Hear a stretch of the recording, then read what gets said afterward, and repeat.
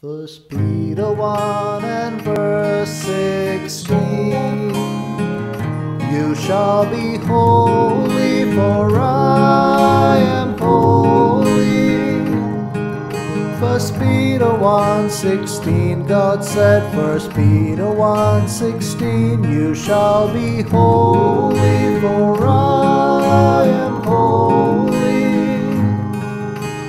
Peter 1 16 It is written You shall be holy for I am holy.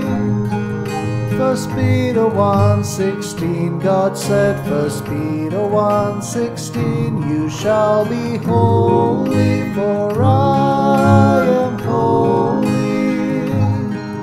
First Peter 1 and verse 16 You shall be